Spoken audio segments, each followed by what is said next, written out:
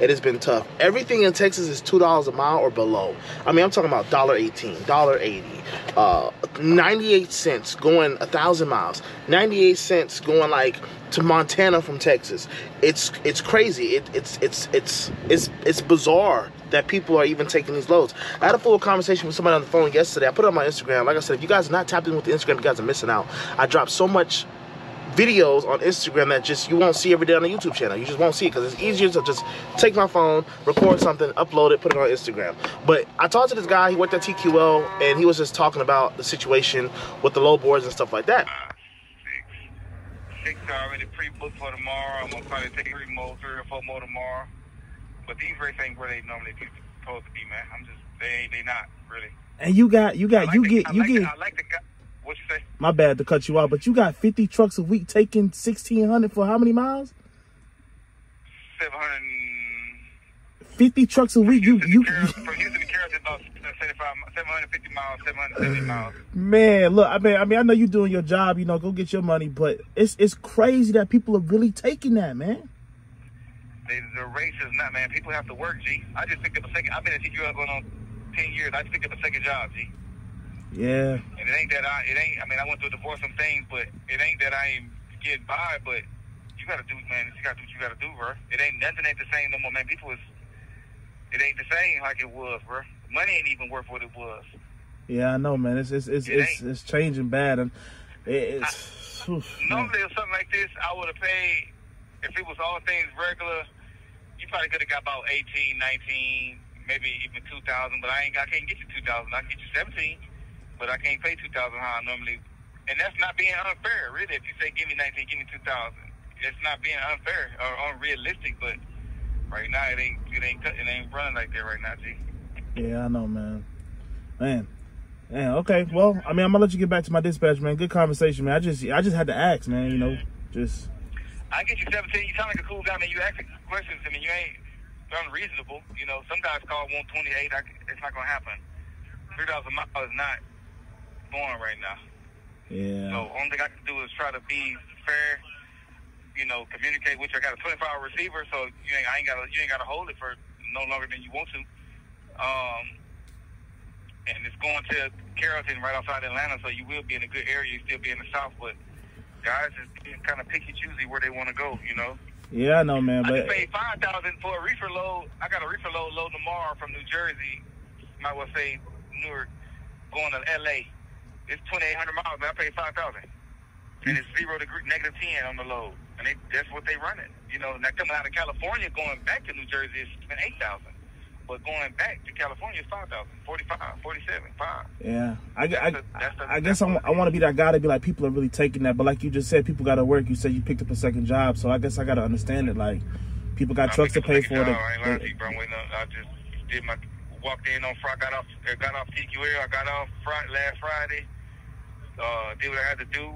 When walked up here, talked to the manager at Lowe's. About 8:30. It was already late. Hey, I ain't had a second job, and I, I can't even remember. I ain't even. I know how to steal interviews stuff like that. But I've been at TQL it's been eight years. I ain't had to have worked a second job. I walked in there 8:30. Told him, looked in my face, told him, "Man, I'm a single dad. This is what I'm doing, and I'm just trying to. When I ain't got my kids and I ain't working TQL, I got a job already. I'm gonna tell you straight up, I got a job. But when I ain't doing that, I'm going. I want to work. I just want to make some extra money, you know, whatever. So I take a little part-time job, or you got to do what you got to do. Yeah, I feel that, man. Well, shit, I'm gonna let you go, man. Just, just, just have a good day, man. I'm not, I'm not gonna take the load, but you know, just, just have a good day, though, man. For sure. Appreciate the What, conversation. what what you think you'll need on something like this is, is to go to Carrollton, man? It's right outside Atlanta. I mean, you got we've been talking. I mean, we've been talking for a minute. I mean, I'm three dollars a mile type of guy, man. I, I can't, I can't do it for that, especially with the TWIC card and everything else that you said I got to do, and throw some tarps on it. I, I can't do it for no two twenty one, man. I, I can't. 7, 14, 21. You want 23. I, I ain't I ain't even quote that, G. Yeah, I know, man, and that's what I'm saying. I ain't, I ain't gonna break your heart. $100 off of- I ain't gonna break you to do that. So it's, it's all good, you know. Just whoever else, let let somebody else get it who needs it, because I don't need that. I got you. Well, if anything changes, give me a call, man. Appreciate that, man. it was just a conversation of just understanding that yo, people got to work, bro. Like this is the market, this is the industry we're in right now. This is what it's gotten to. People have got to work, and these are what people are doing. People have trucks to pay for. People have bills to pay for. They got kids that are in college. They got kids that are not in college yet. They got wives that you know want to go on shopping sprees or whatever. You know what I mean? So they got holidays. You got Valentine's Day, Thanksgiving, um, Christmas. You got birthdays. You got all these things that us as Americans enjoy every single day that they got to take care of. And it's been tough, man. It's been tough. But thank God we held out. We almost did take a load yesterday for $2 a mile.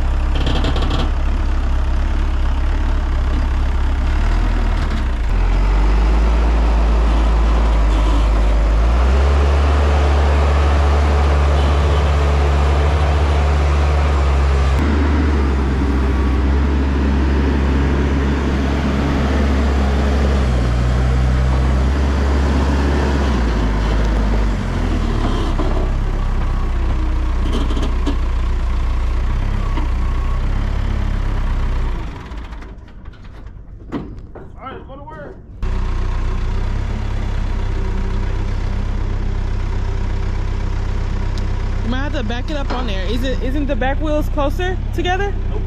No? No. No.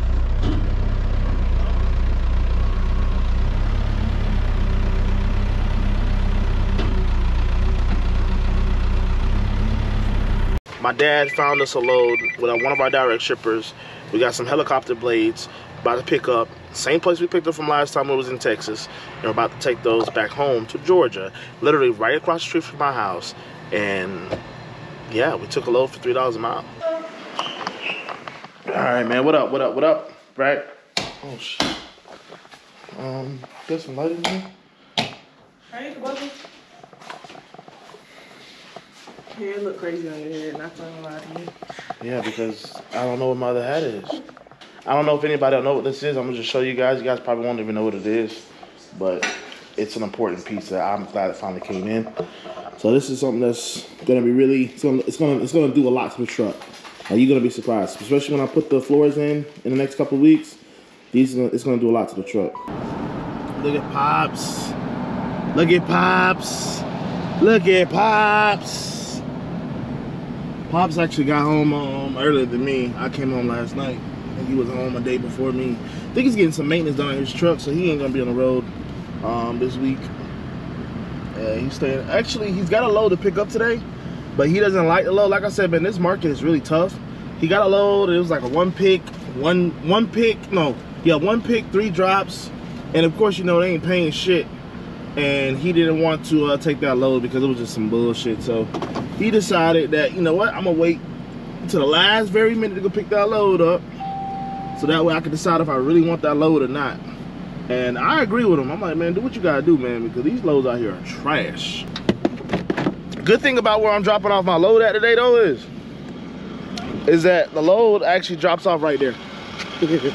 so I live like 14 minutes away, and we've been parking our trucks here at this uh at this warehouse, and we got real cool the guys who work right there, and you know um we pick up loads, drop off loads for them, and stuff like that.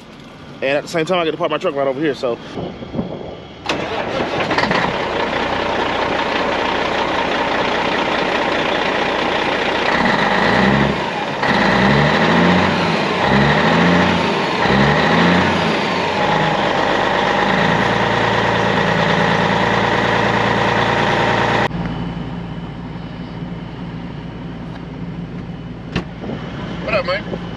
I ain't gonna lie, man. Um, if you was a robber, you would have killed me, yo. What, you can see me? Hell no. I've been in my phone this whole time. I just, oh, I looked man. up and there was a car in front of me. All right, y'all. So the video was cut a little short. Um, didn't do too much footage. But, you know, the video is basically on the rates. You know, everything that's going on in the industry right now. Texas is messed up. And when I say messed up, it's it's just a lot of people live there. A lot of people start their trucking companies there. A lot of people go there. Texas is a hub for trucking overall, essentially. A lot of hot shots are there. A lot of box trucks are there. You got a lot of competition. When you're out there on the market, you're out there on the on the DAT load boards, on the truck stop, or whatever you use, your direct shipper, whoever you're using, you got to pick your destination accordingly. You don't want to just go to Texas when you know Texas is paying two dollars a mile or less. You got to find someplace else to go. I go to the Northeast and I'll drop off Monday, knowing that I got about two or three days to pick something up decent to come up out of there and still be able to drop off by Friday. So it's the way you move your truck. It's the way you load up your truck. You know, if you know you're gonna go to Texas, you get you got to come out with something. You know, for instance, when we went to Texas, we got our direct shipper, which we didn't really know even had loads coming out of Texas, and she gave us loads coming out of Texas to come right back to Georgia, paying three dollars a mile. Now I know a lot of people are gonna say three dollars a mile is nothing either. It's, it's not a lot of money. Like you talking about three dollars a mile like it's a lot, but that's the market right now. You go to Texas, all them rates are two dollars a mile or below. So for us to go to Texas and get three dollars a mile and come out, are we gonna go there again? Probably not. Now she sends us over there to go, you know, drop off a load, which of course we know we're gonna get three dollars or more to go over there, or probably four dollars. We need three dollars to come right back out. That's the only reason we'll go to go to Texas. Just overall though, man, you gotta stop crying about the rates. If you're in the trucking game, you're in the trucking game for whatever reason you're in the game for, it's the market. If you're gonna go to Texas, you know what you're gonna get. So another thing that I want you guys to take is stop taking your truck to Texas. Stop taking your truck to Florida. Okay, like straight up. Because when you go there, you're forced to take. I did it too. I was about to take that that little track that you guys saw. Good thing it did not fit for two dollars a mile. Then he wanted me to pick up another load the same night that was coming from Austin, coming back up. That was gonna fit on the back of the trailer for like another. I think it was like a dollar something a mile. You know, something like that. It was it's horrible rates. So if you don't go to Texas, you're not. You don't have to take those loads, which keeps those loads on the board. The people who live in Texas are to have to decide they're to take those loads or not. But because Texas is oversaturated with a whole bunch of competition, it's going to be like that for a minute now. It just is what it is. So just stop going to Texas. A lot of people don't go to Florida. We don't go to Florida. We go to Florida if we got a good, good, good load going to Florida. But we try not to go to Florida. Every time we do go to Florida, we go in there with like five dollars a mile or more, and we know, okay, we come out. Our house is in Georgia. We can deadhead up a little bit because we don't go too far. I think we go to Orlando, and that's it. Orlando is six hours away from my house. So stop going to Texas. Stop going to places right now that, That are forcing you to are take. forcing you to take cheap freight. There Stop it. Don't don't don't go there. The guys with like five trucks, two trucks, ten trucks on their fleet, we don't really dictate no market. Stop thinking we do. We don't. The guys with 50 trucks, the guys with 100 trucks, the guys with 200 trucks, those are the guys who dictate the market. Because let's say, for instance, a guy calls a broker and says, hey man, if you give me this load for 280 a mile consistently every